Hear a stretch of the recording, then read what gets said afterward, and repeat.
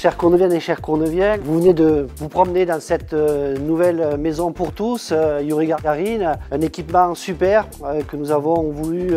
mettre au service des Courneviennes et des Courneviens avec un investissement important, plus de 2 millions d'euros, avec ce souci de faire en sorte que ce soit un lieu de vie pour toutes et tous, pour la petite enfance, la jeunesse, les adultes, pour les apprenants, de manière à ce que ce soit un lieu vivant, y compris en lien avec le gymnase qui est, qui est attenant. On est très fiers de, de cet équipement parce que nous pensons qu'il va contribuer à renforcer euh, le lien social. Et dans une période comme nous vivons et d'une façon générale, nous avons besoin de ce lien social, nous avons besoin de, solidarité. C'est un petit peu l'ADN de notre ville et avec cet équipement, ben, cet ADN, on lui donne vie et on en est euh, donc euh, légitimement très fiers avec l'ensemble de l'équipe municipale. Donc profitez-en, investissez ce lieu, il est pour vous et donc